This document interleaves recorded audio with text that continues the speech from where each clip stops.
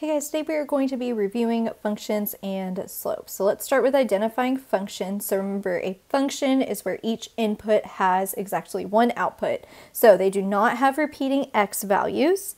And for graphs, you will use the vertical line test to determine if it's a function or not. So we're going to look at these representations and label them as function or not a function. Let's start with this graph. So we're going to use the vertical line test. Remember, if it passes the vertical line test, it only hits the graph one at a time when you draw a vertical line through it. I can already see this one's going to fail because when I draw a vertical line, it is hitting the graph in two spots. So that would make this graph not a function.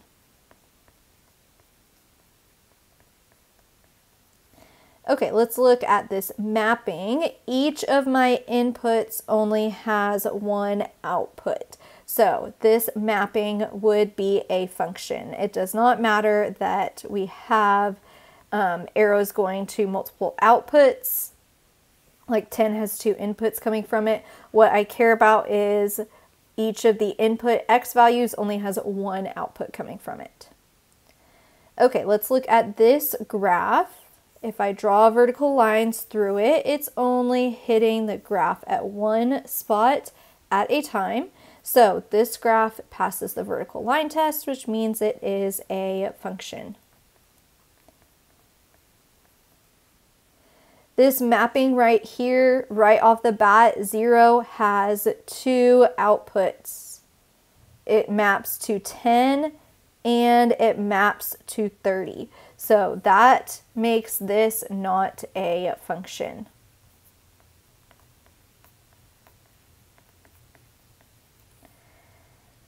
Okay, then I have ordered pairs. I'm just going to look at the x values. My x values are 1.5, 2.5, and 3.5.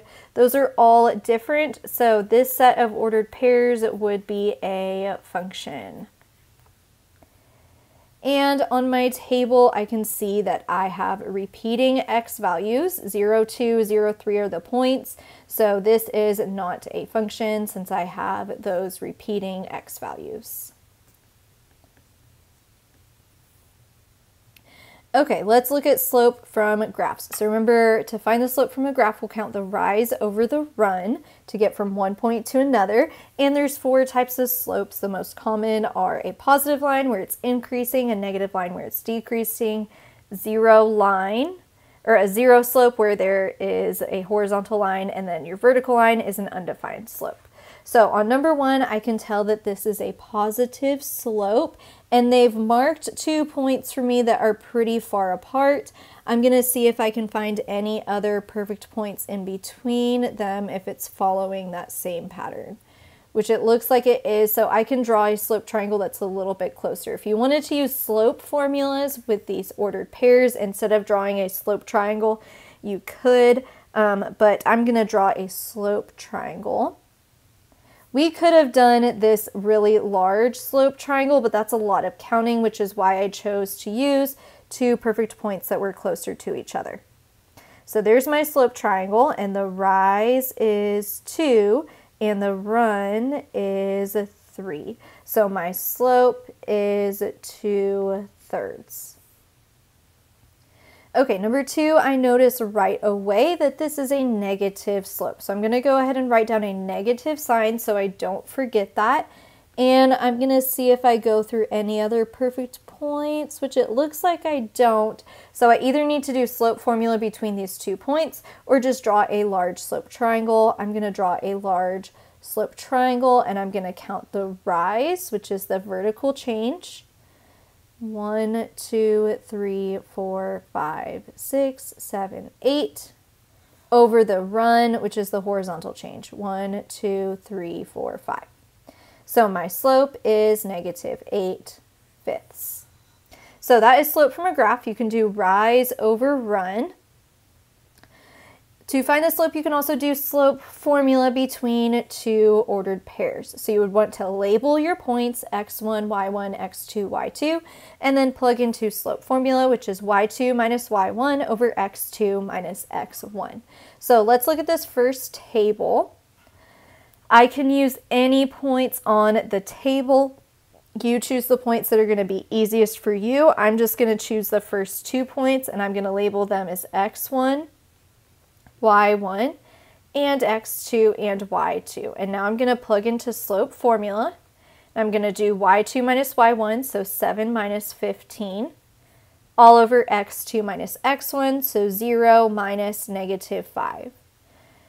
And now I'm going to do the numerator and then the denominator separately. So 7 minus 15 is negative 8. 0 minus negative 15, you can type that into your calculator. It's 5. You also could have remembered that minus and negative is the same thing as plus a positive, and 0 plus, um, 5 is 5. So our slope on this table is negative 8 fifths. Number four says Jess went to a coffee shop and bought a donut for herself, then coffee for herself and her employees. The table shows the total cost based on the number of coffees purchased. Based on the linear relationship shown in the table, what is the cost per coffee? So they didn't come out and say what is the slope, but they are asking for the cost per coffee. That keyword per, it's going to repeat. That's a big clue that it's going to be slope that we're finding. So I'm going to plug into slope formula. First thing I'm going to do is label points x1, y1, x2, y2. You can use any two points in the table. I just chose to use the first two. So to find the slope, I'll do y2 minus y1, which is 30 minus 12, all over x2 minus x1, so 6 minus 2.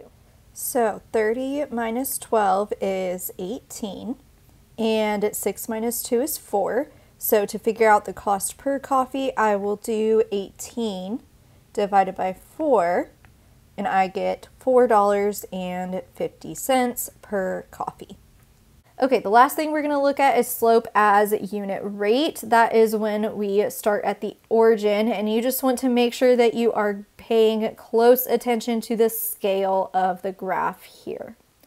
So number five says the graph shows the rate that a golf cart is traveling in miles per hour. What is the rate of change of the graph? So since they're asking for rate of change, they're just asking for slope. So I'm going to do rise over run between two perfect points.